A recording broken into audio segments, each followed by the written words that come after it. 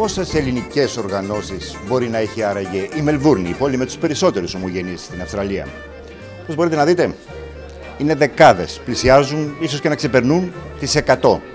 30 χρόνια είχαν να συνευρεθούν όλες οι οργανώσεις μαζί. Και σήμερα, με αφορμή την έναρξη της λειτουργίας του πολιτιστικού κέντρου εδώ στη Μελβούρνη, η ελληνική κοινότητα φρόντισε να δώσει αυτή την ευκαιρία και μετά από 30 χρόνια να συνευρεθούν όλες οι οργανώσεις των ομογενών μαζί. Είναι μια πάρα πολύ χαρούμενη στιγμή για όλους μας, διότι έχουν περάσει τόσα πολλά χρόνια ε, που σαν παρικία δεν έχουμε ενωθεί με τον τρόπο που χρειάζεται.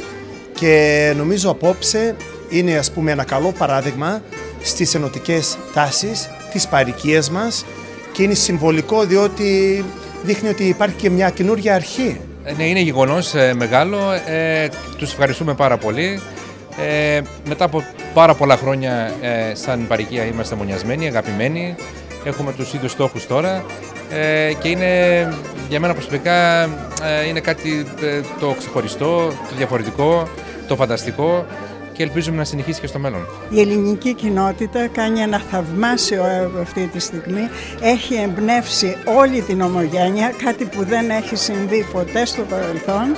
Απόψε είναι μια πραγματικά ιστορική στιγμή για την ομογένεια όχι μόνο της Μελβούρνης αλλά ολόκληρης της Αυστραλίας. Είχαμε κάνει μια εκδήλωση πριν δύο χρόνια και συμμετάσχαν πέντε οργανισμοί. Απόψε έχουμε παραπάνω από 45 οργανισμούς.